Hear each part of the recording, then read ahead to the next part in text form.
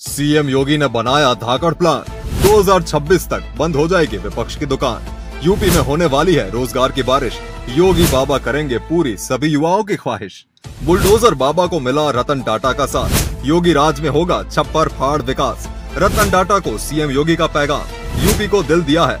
अब दिलो जान से रोज़गार की बारी है। योगी बाबा ने किया यूपी में खेला। जब इधर सुप्रीम कोर्ट में बुलडोजर के खिलाफ दलीलें पेश की जा रही थी, तब योगी का पूरा ध्यान रतन टाटा के साथ मुलाकात की ओर चल रहा था। दुनिया इसी में उलझी रह गई और योगी बाबा ने खेल दिया मास्टर स्ट्रोक। यूपी में इस समय योगी के विकास मॉडल की तैयारी हो चुकी है। अब बस उसे साकार करने से एक कदम की दूरी है। यूपी के लिए इस समय रतन टाटा का साथ मिलना बहुत ज़रूरी है, क्योंकि यूपी का विकास मॉडल रतन टाटा जैसा देशभक्त बिजनेसमैन ही पूरा कर सकता है।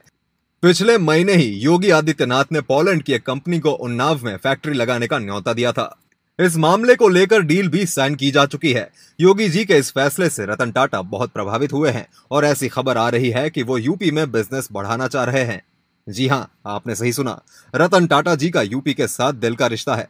नौ साल पहले खुद रतन टाटा ने यह बात कही थी कि यूपी के साथ मेरा दिल का रिश्ता है। मैं यूपी को दिल दे चुका हूँ। वहीं यूपी के सीएम योगी आदित्यनाथ का कहना है कि अब यूपी में दिलो जान से रोज़गार पैदा करने की बारी आ गई है। इसके लिए उन्हें रतन टाटा का साथ चाहिए, तभी वो जल्द से जल्द उत्तर प्रदेश को पूरे भारत का नंबर वन राज्य बना पाएँगे।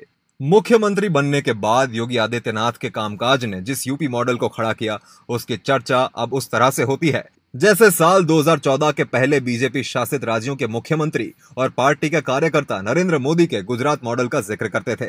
राजनीतिक विश्लेषकों की राय है। कि उत्तर प्रदेश में भारतीय जनता पार्टी को चुनाव दर चुनाव मिलने वाली कामयाबी की वजह से हर तरफ़ योगी आदित्यनाथ के यूपी मॉडल की बात हो रही है। योगी सरकार ने अपना तीसरा ग्राउंड ब्रेकिंग समारोह पीएम मोदी और भारत के प्रतिष्ठित उद्यमियों की उपस्थिति में किया था, जिसमें उत्तर प्रदेश में अस्सी हज़ार दो सौ चौबीस करोड़ रुपए की एक हज़ार चार सौ छह परियोजनाओं को धरातल पर उतारा गया।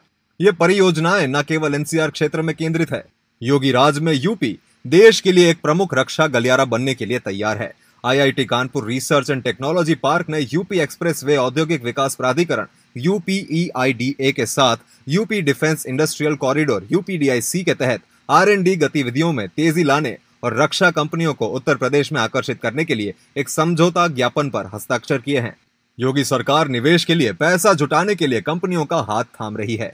यूपीईआईडीए ने डिफेंस इंडस्ट्रियल कॉरिडोर में इकाइयाँ स्थापित करने के इच्छुक निवेशकों को वित्तीय सहायता प्रदान करने के लिए तीन प्रमुख राष्ट्रीयकृत बैंकों और भारतीय लघु उद्योग विकास बैंक SIDBI के साथ एक समझौता ज्ञापन पर हस्ताक्षर किए हैं। नतीजतन, Adani defence and aerospace Kanpur में दक्षिण एशिया का सबसे बड़ा एकीकृत गोला बारूद निर्माण परिसर स्थापित करने के लिए पूरी तरह तैयार है।